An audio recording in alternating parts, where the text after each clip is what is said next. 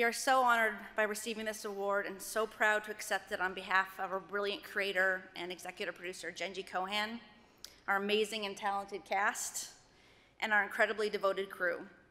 We want to thank Piper Kerman, who told her story so beautifully and inspired us to make the show. We want to thank our wonderful partners at Netflix, especially Cindy Holland, and at Lionsgate. Thank you to the Peabody Board and the United University of Georgia. The Peabody Awards recognizes stories that matter, and in the case of Orange is the New Black, that couldn't be more true.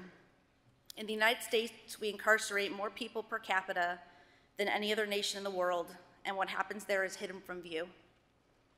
So it's vital for storytellers to step up and share the stories of those lives who have been unseen to ensure they are seen and to help create change. Thank you so much.